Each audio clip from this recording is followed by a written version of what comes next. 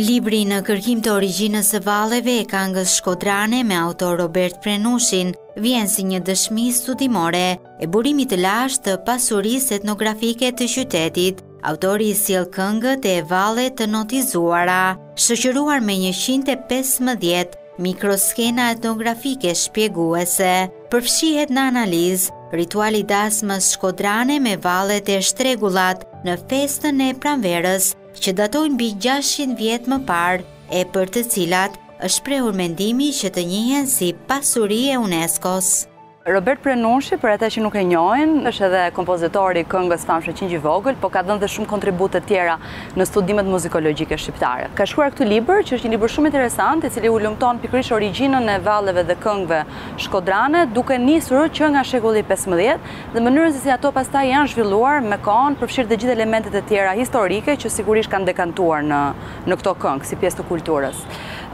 Libri nis me dy skena specifike, me dy rite pagane, që është buzmi bujar, dhe pastaj me gjamën. Këtë është kënga majekrahu, janë këngët e trimërisë, janë ninulla të ndryshme të vjetra, janë këngët e dasmave, dhe ajo që është shumë e bukur në gjykimin tim është që të gjitha këto këngë, përveç praktikave etnografike, shoqërohen në një farë mënyre dhe me skena të ndryshme se si janë përcjellë në letërsinë e vendit.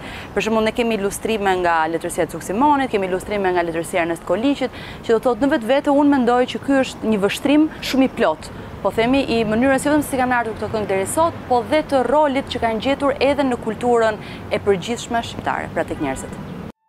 Janë dymbëdhjetë mentalitetet e autorit Bilal Kola në dymbëdhjetë kapituj që mund t'ju ndihmojnë të gjeni rrugën e suksesit. duke nisur nga përmirësimi i jetës personale, ndërveprimi social dhe përmbushja profesionale, përmes eksperiencës vetjake, por edhe referencave, libri i Kolës që së shpejti do të përkthehet në anglisht, ju motivon të jepni më të mirën, duke shmangur faktorët që zbehin dritën tuaj.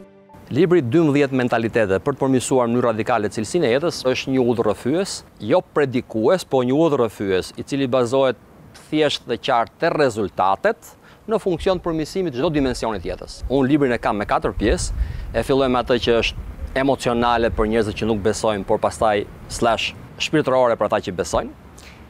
Në atë që konsiderohet vetëdije, pa ndarë mendjen dhe pa qenë të kthjellët se çfarë objektivi duam të realizojmë, që qoftë ky objektiv material apo jo material.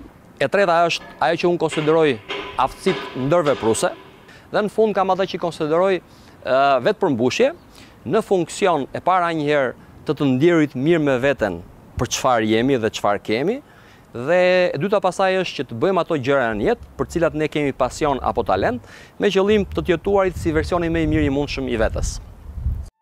Me poezitë e Shkëlzen Zallit u rritën breza. Ribotimi pas tridhjetë e gjashtë vitesh i librit të tij Telefoni me cicërima u jep mundësinë vogëlushve të pasurojnë bibliotekën e tyre me vjersha argëtuese që vijnë përmes një gjuhe të ngrohtë, dhe edukuese. Janë vargje të mençura, të pasura me mesazhe e figura letrare, që shoqërohen nga ilustrimet plot fantazi të piktores Doli Gjinali, studiuesja Klara Kodra, që shkruan parathënien e librit, për autorin e ndarë nga jeta tre vjet më parë, i konsideron poezitë e Shkëlzen Zallit si të llojit të parë. Jam e kënaqur se arrita të ribotoj ëndrrën e autorit, ëndrrën time të ribotonim librin Telefoni me Cicërima. Ky është botuar në 1987, pothuajse 20 vjet përpara. Edhe kryetari i jurisë ka qenë, ka qenë Lidhja e Shkrimtarëve dhe Artistëve. Ka qenë i nderuari i madhi ikona Dritëro Agolli. Edhe për koincidencë, Ky fitoi çmimin Libri më i mirë për fëmijë. Shkëlzeni jetonte në Tropojë. Edhe me kopjet e para të librit, unë thotë isha njeriu më i lumtur në botë. Shumica e këtyre vjershave janë bërë këngë fëmijësh. I kanë kompozuar kompozitorët e mëdhenj, Osman Mula, Gazmend Mullahi, Selim Ishmaku, e shumë e shumë e shumë të tjerë.